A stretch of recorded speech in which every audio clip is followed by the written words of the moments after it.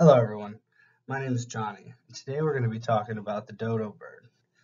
Me and my friends Catherine and Madison have created a game to make this fun and easy. Now, what is the dodo bird? Well, the dodo bird you might have seen in movies like The Ice Age, or you might have even heard somebody call that to somebody as a mean name. But we're going to talk about some of the things that are true and some of the things that are just misconceptions. So for sure, this bird is a flightless bird, kind of like an ostrich or a penguin. Its habitat is on an island known as Mauritius, and this island is near Madagascar in the, in the Indian Ocean. This is kind of their own home. There wasn't many other animals there, and furthermore, there wasn't any predators that really attacked this bird. So that might be a reason why this bird didn't ever develop flight. Bird is named dodo because it comes from a Portuguese name doado. Now, what that means is simpleton. And the reason being is because, unlike most animals, this bird did not flee when it saw humans. In fact, it just kept staring at them like it didn't know what was going on, probably because it's never seen an animal like a human. So let's get this game started. We're going to do this in a series of questions, and then I'll tell you guys which one is the right answer and why it's the right answer. Now, what caused the dodos to become extinct? Well, is it A, humans, B, disease, C, other animals, or D, two of the above? I'll go ahead and wait. And if you want, you can pause the video and try to figure it out before turning it back on, and we'll discuss what it is. Okay, if you chose the answer two of the above, then you are correct. So the reason is, is because humans might have eaten the birds, but what is more likely is that the animals they brought with them, their pets, like cats and dogs, ended up seeing them as prey or at least something to play with. I know you've seen your dog before eat a bird on accident just thinking it was a toy, or even a chicken if you're near something like that. Now, that is what started to kill them off slowly but surely. Now, was the dodo bird as dumb as, as these movies make them seem? A, yes. B, no. Or C, maybe just a little. Go ahead and pause the video. All right, if you chose B, then you are correct once again, and good job for you. And if you didn't, it's okay. There's some, there's some more questions coming up. Now, here, to put this into perspective, the, bird, the dodo bird is closely related to a pigeon, and the pigeon has, has a fairly sized brain and scale to its body. And so, like the pigeon, it's fairly intelligent, like other birds as well. So, was the dodo clumsy? Again, go ahead and pause the video. And uh, when we unpause it, we'll talk about what is the right answer and why it's the right answer.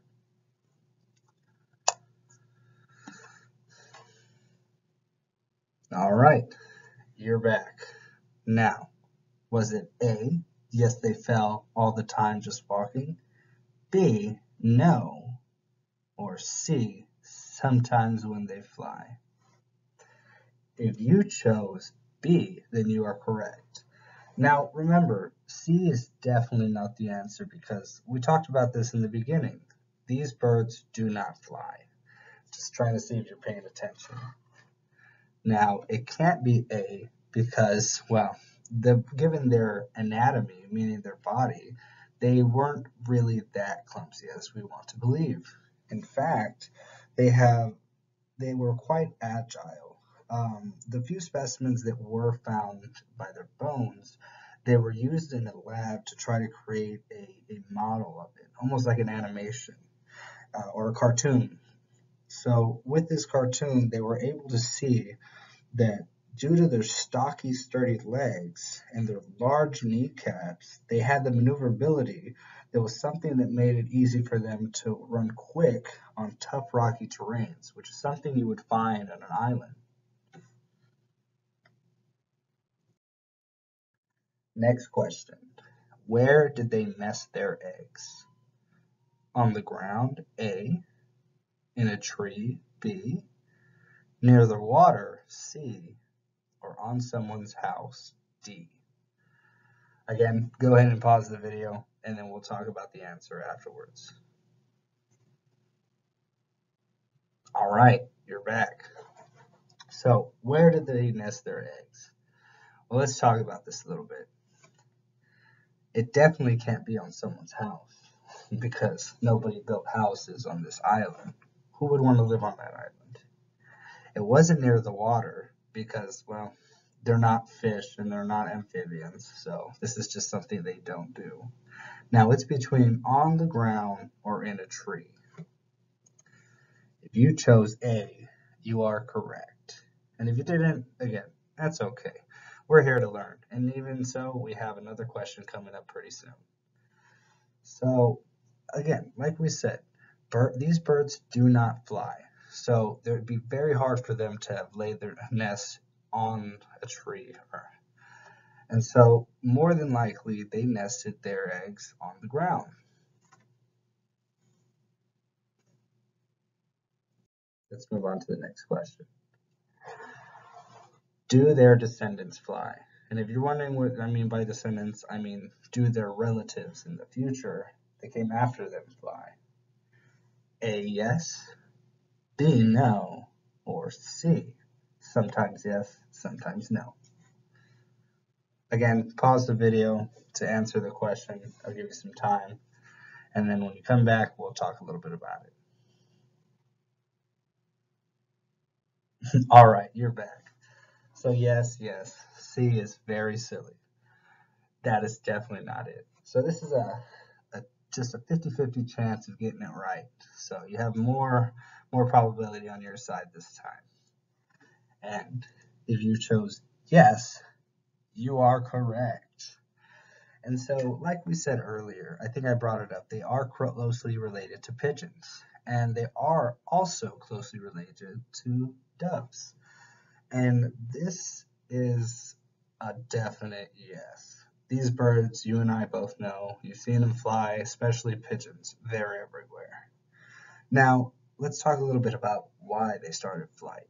So, just talking about how these birds went extinct, it was because they could not get away. They were only able to run away, which would only do them good for so long. Especially if the animal was a lot faster, they would catch up to them eventually and they would be eaten. Now, the way evolution works is that sometimes a trait can be passed down and sometimes it cannot. It does not pop up because it is needed, it randomly pops up. And if it is used, then it keeps going on, and if it's not, then it doesn't. Just like how the birds didn't learn, didn't need to fly, the dodo birds, that's probably why they never gained the trait to fly. But because they died off like this is why they would need it. So these birds having the ability to fly was kept because it helped them avoid being eaten. Now, I hope all of that made sense. And if it did, I would like you to give thanks to both Catherine and Madison for doing such a great job with this whole presentation. And uh, thank you for listening to me, Johnny, the one that presented it. and I hope this was fun and informative, and I hope you guys stay safe. Thank you for listening.